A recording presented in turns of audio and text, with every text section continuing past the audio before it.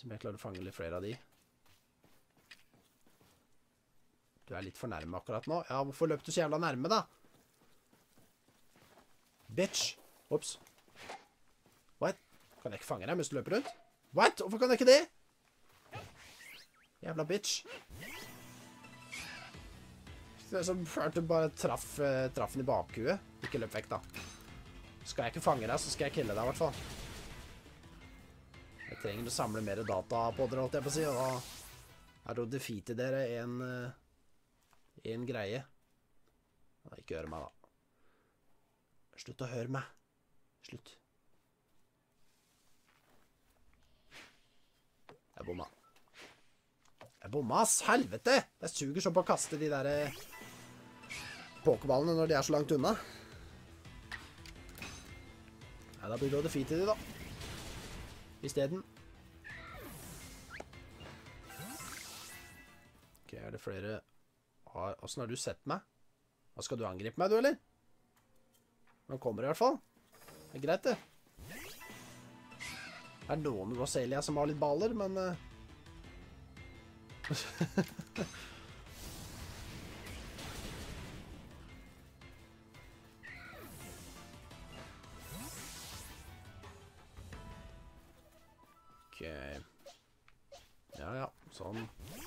Sånn kan det gå.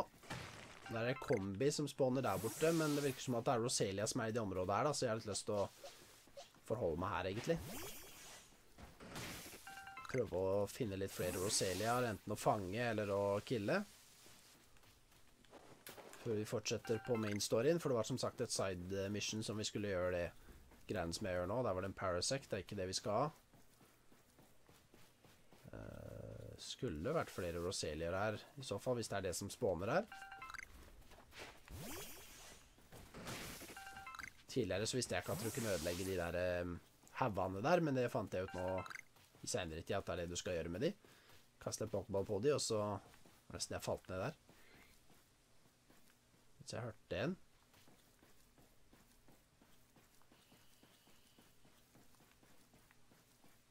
Tror jeg hørte en Roselia nå, men hvor Var det fordi jeg steppa inn i gresset? Da tenkte jeg, hva faen var det for noe?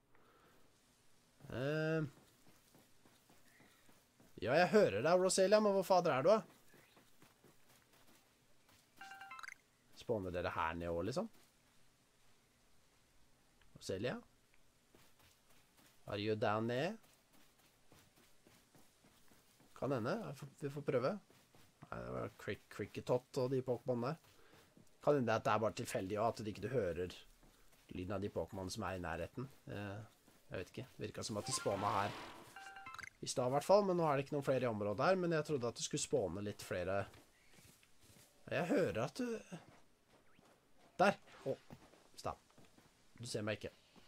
Du så meg akkurat, men du fortsetter ikke å se meg. Nå går bort til gresset. Gå bort til gresset. Sånn. Og så venter vi bare til den snur. Åssen har vi OK, vi har Jeg vet ikke om det gir oss nok poeng til å få fullført den, men den sovna. Den sovna. Jeg kaster en pokéball på den bakfra, så er det supereffektivt. Wow! Rett i bakhuet. Yeah. Og så så jeg en allerede her borte også. Å, what? Og det står en der òg, ja. Men jeg så en her nede også. Og der var det nå. Nå er de tilbake her, vet du. Shit.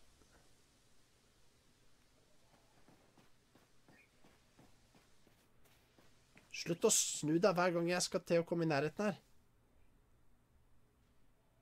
Stop doing that.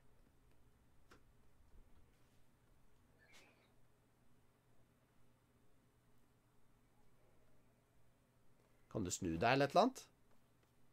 Takk. Neimen Åh! Så jævla fancy nivå å gå bortover, da. Vet du hva? What? Jeg prøvde bare å kaste på den. Det funka ikke, tydeligvis. Hvorfor gjorde det ikke det, da? Hørte den jævla klunklyden? Fader, ass. Ja, ja. Da blir det defeaten isteden. Når det skal være sånn. Ok, prøver vi oss på disse isteden, da. Du kommer rett mot meg, ja. ja. Nei, det, ja, kanskje det var det det poppa opp en sånn derre ehm, Ja, den kan jeg fange, men eh, det er kanskje Pokémon som det popper opp en sånn kryss over. Som ikke vi kan fange. Jeg vet ikke. Det var en av Roselia som så meg, tror jeg. Faen. Ikke sant? Jeg skal bare fange den her først.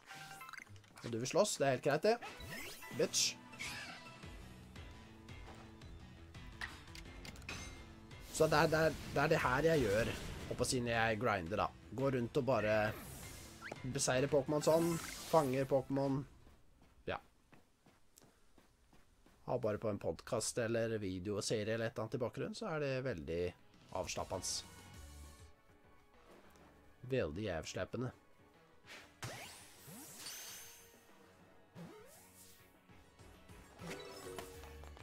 Bare håpe at vi har samla opp nok eh, Nok data for eh, Roselia nå til å fullføre den Og få liksom få den på Pokédexen. For det holder som sagt ikke bare å fange en Roselia. Du må fylle opp en hel sånn Du må få ti poeng, tror jeg.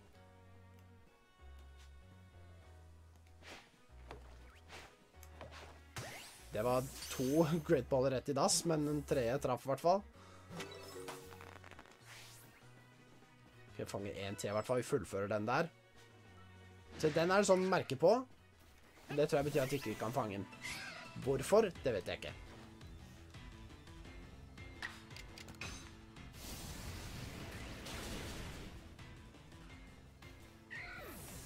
Jeg ser det liksom Typhlosion med flammer rundt halsen. Det er jo litt kult, da. Men hvorfor den ser så jævla sliten ut, eller så jævla høy ut, holdt jeg på å si, det, det vet jeg ikke. jeg er nok ikke så veldig fan av det utseendet på Typhlosion her, men uh, ja. Vi må bare sjekke alle disse Roseliaene om de har uh, kryssmerke på seg, eller Nei, denne har ikke det, så det betyr vel at vi kan fange den, da. Hvis det hadde stått kryssmerke, så hadde det betydd at vi ikke kunne fange den, tror jeg.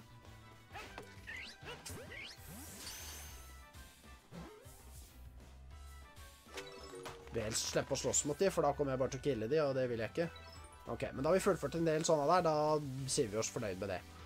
Um, ok, vi skal bort hit. Vi tar oss teleporter.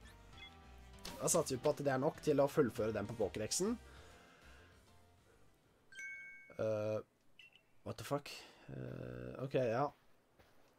Skal vi slåss mot han igjen nå, eller? Ja. Redder de vi, vet du. Change the entire course of the history here in history.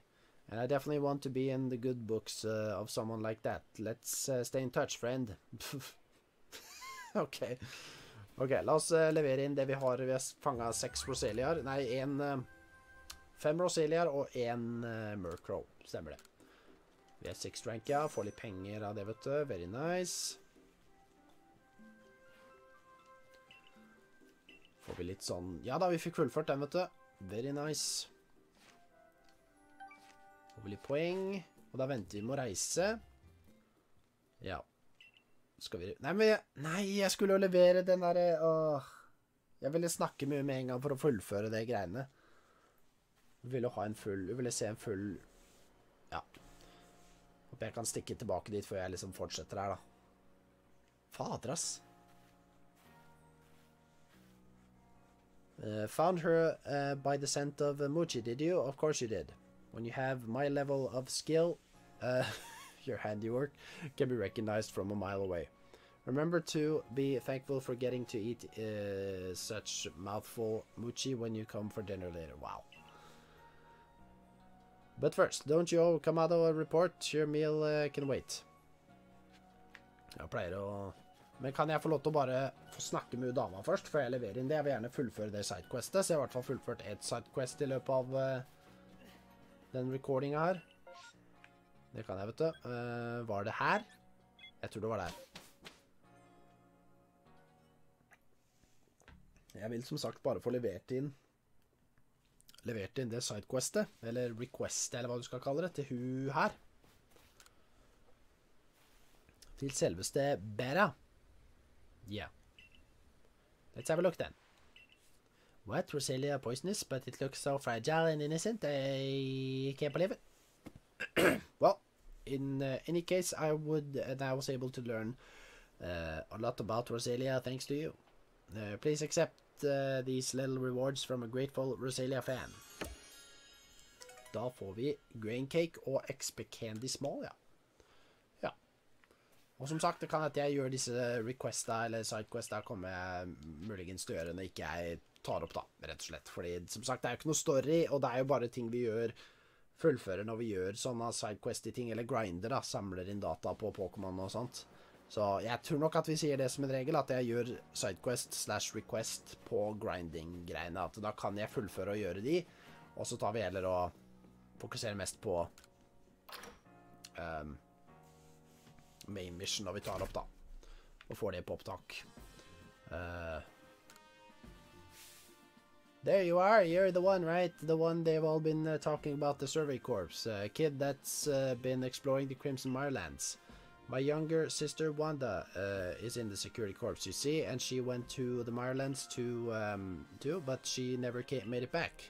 You managed to track down the other two women um, in those boggy Mirelands, right?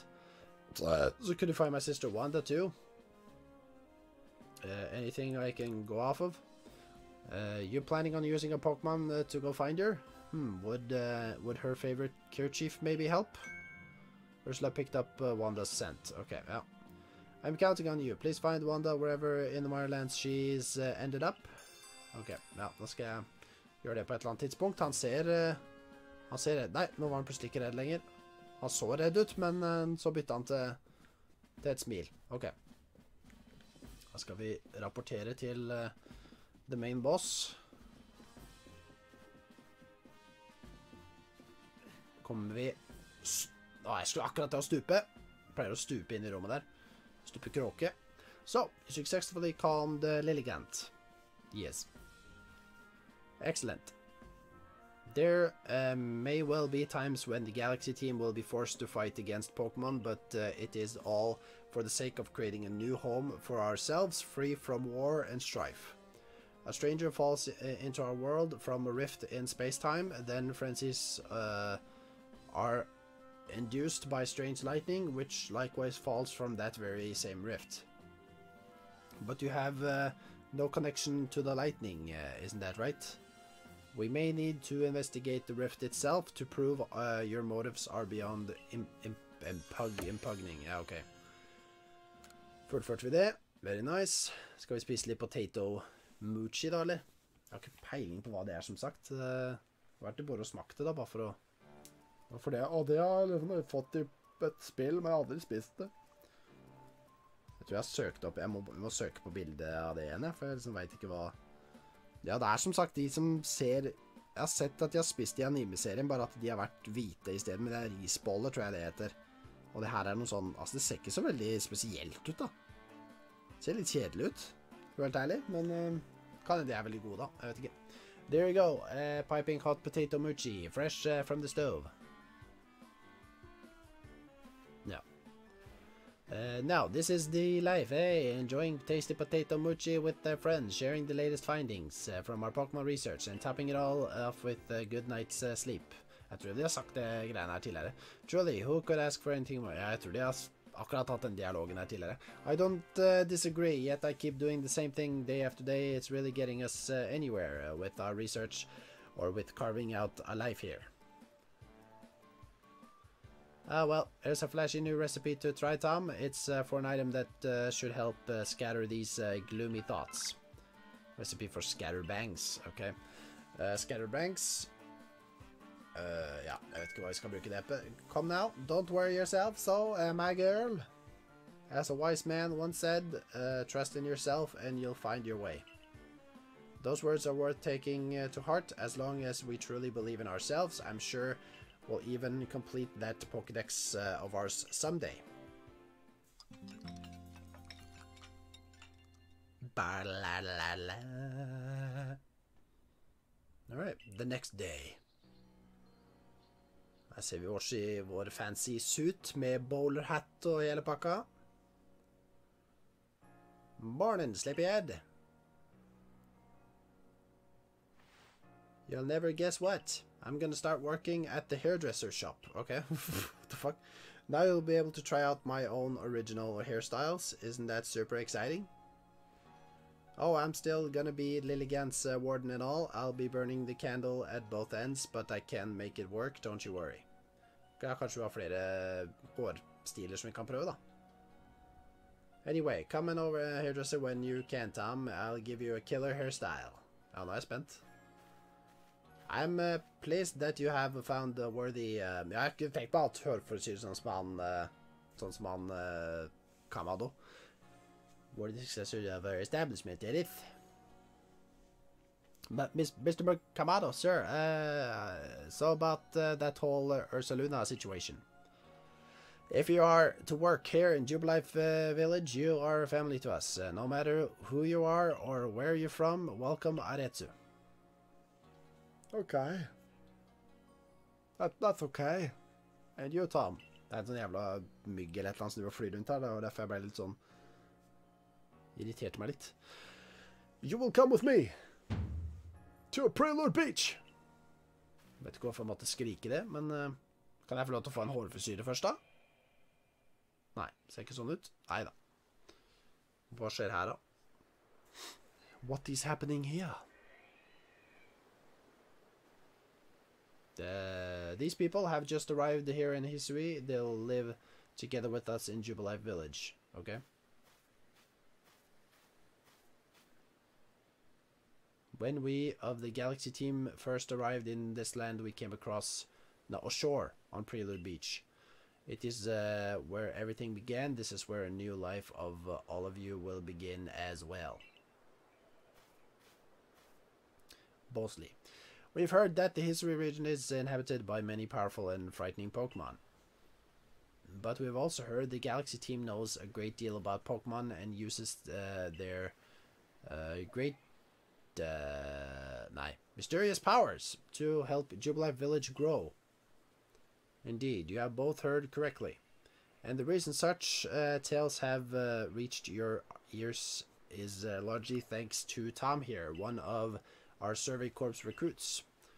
Through the combined efforts of all our team members, let us continue to develop our village and thrive here in Hisari region. Yes. We look forward to doing our part, Commander. Alright.